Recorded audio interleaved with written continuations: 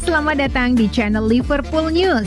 Channel yang setiap hari update berita terbaru dari klub Liverpool. Subscribe, like, dan beri komentar menarik di setiap video terbaru kami. Karena kami punya giveaway di setiap akhir pekan spesial untuk Anda.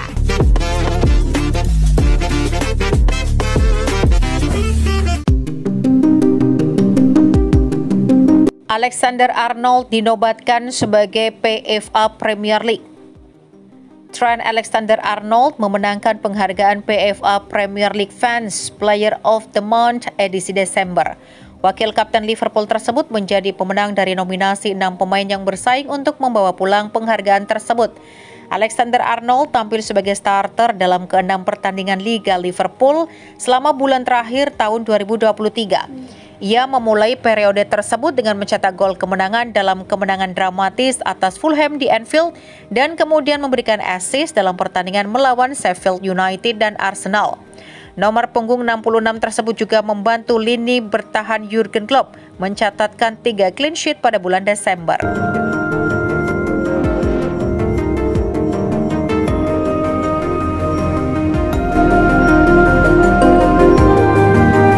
Liverpool punya bonus transfer 3,3 triliun rupiah. Liverpool mempunyai bonus transfer 171 juta pounds atau 3,3 triliun rupiah yang bahkan tidak bisa ditandingi oleh Manchester United di Liga Inggris. Liverpool termasuk di antara tim dengan pendapatan tertinggi dalam hal penjualan akademi di Liga Premier selama dekade terakhir. Kepergian Paul Glatzel ke klub League Two Window Town mungkin bukan transfer yang paling menarik perhatian Liverpool di bulan Januari. Namun hal ini menandai semakin terputusnya hubungan dengan tim FA Youth Cup terakhir The Reds yang sukses. Glatzel mencetak gol penalti kemenangan pada Mei 2019 saat Man City dikalahkan melalui adu penalti setelah bermain imbang 1-1 secara dramatis. Sekarang kurang dari lima tahun kemudian, hanya Vitaslav Charas dan Reyes Williams yang tersisa. Keduanya saat ini dipinjamkan. Hanya Williams yang berhasil menembus tim utama Liverpool, meskipun penampilan terakhirnya terjadi pada Mei 2021. Pemain-pemain lain yang terlibat memiliki nasib yang sangat bertolak belakang sejak itu, mulai dari Neko Williams dan Yasser Larauchi yang kini tampil di Premier League bersama Nottingham Forest dan Sheffield United. Hingga Fidel Aurauke dan Bobby Duncan, pencetak gol penyeimbang Liverpool melawan City menjadi tanpa klub. Liverpool menghasilkan sekitar 20 juta pounds dari penjualan tim pemenang Piala Remaja tersebut. Sebagian besar terdiri dari 17 juta pounds yang dibayarkan Forest untuk Williams 18 bulan lalu.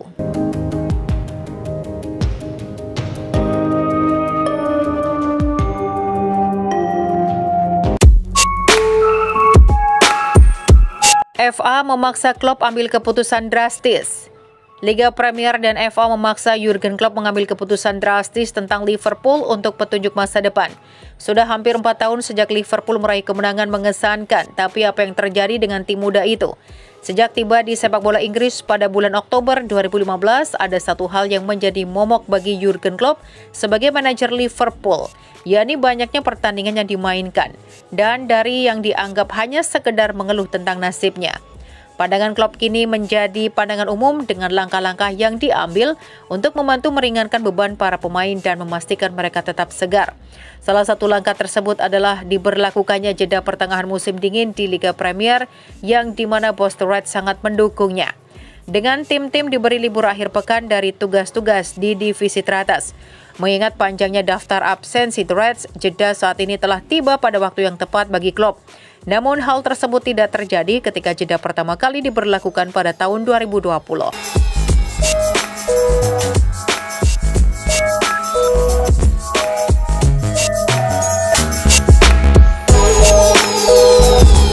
Pembayaran transfer Bruno Guimaraes bisa dicicil tiga kali.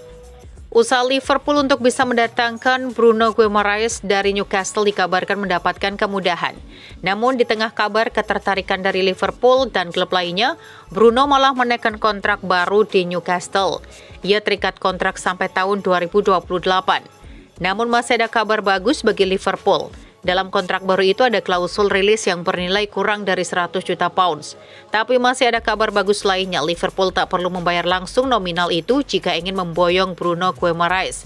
Mereka bisa mencicilnya sebanyak tiga kali. Rumor itu dilansir oleh AS.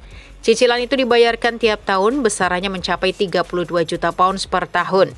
Namun Liverpool harus bisa meyakinkan Guimaraes untuk pindah ke Anfield. Sebab rumornya sang gelandang punya mimpi untuk bermain di Barcelona atau Real Madrid.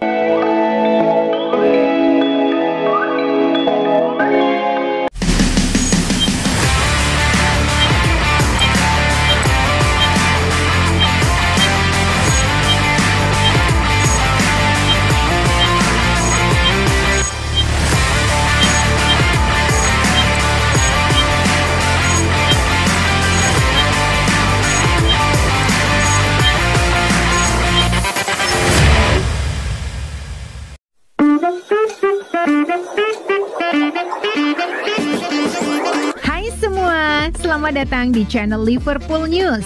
Channel yang setiap hari update berita terbaru dari klub Liverpool. Subscribe, like, dan beri komentar menarik di setiap video terbaru kami. Karena kami punya giveaway di setiap akhir pekan spesial untuk Anda.